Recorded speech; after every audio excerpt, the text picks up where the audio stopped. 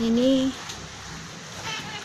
kucing terlalu kurus yang ditemuin di jalan.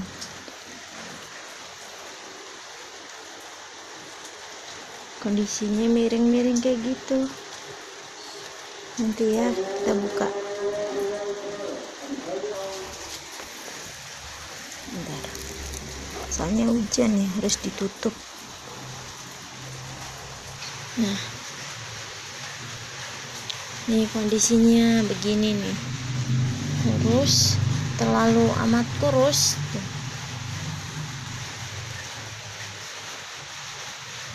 Jalannya juga masih miring-miring.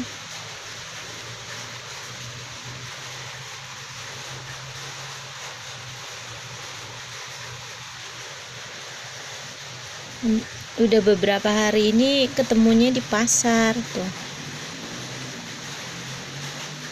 Di pinggir jalannya di depan toko-toko.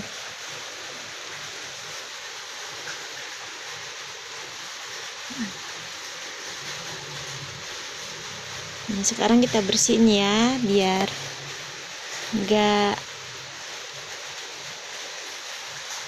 kedinginan sama kupingnya kita bersihin dulu